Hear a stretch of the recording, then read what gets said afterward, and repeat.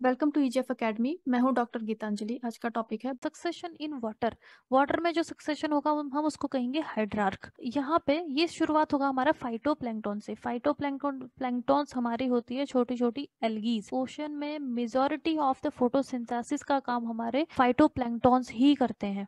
तो यहाँ पे पहले फाइटो धीरे धीरे ग्रो होना शुरू हुए। उसके बाद में हमारा सबमर्ज प्लांट स्टेज आता है। ये है सबमर्ज का मतलब पानी में मर्ज है जो।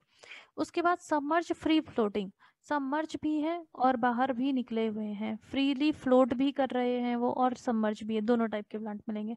फिर रीट स्वाप स्टेज जो नीचे रूटेड है और उसके बाद वो ऊपर आ गए। धीरे धीरे इस प्रोसेस में क्या होता है कि वाटर का जो लेवल जो ऊपर तक का था, वो धीरे धीरे कम होते जाएगा।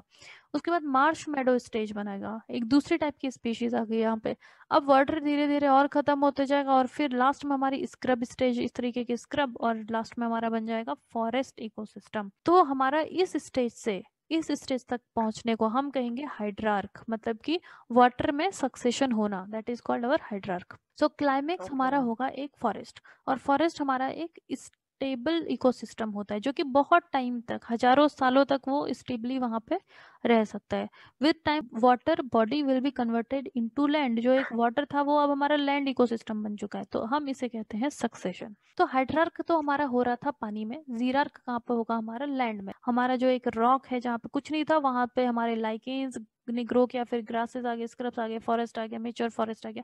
तो ये जो लैंड में जो सक्सेशन हो रहा है इकोलॉजी सीरीज़ को फॉलो करने के लिए आप हमारे चैनल को सब्सक्राइब कर लें। अपनी बेटर प्रिपरेशन के लिए आप हमारे अफोर्डेबल कोर्सेज भी ज्वाइन कर सकते हैं। हमें कॉन्टेक्ट करने के लिए आप दिए गए नंबर पर कॉल करें और contact through our website website link is given in the description box